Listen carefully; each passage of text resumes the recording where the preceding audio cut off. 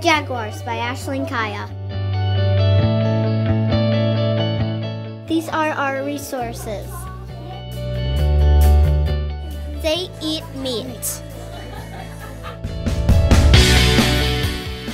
Mama jaguars hunt alone.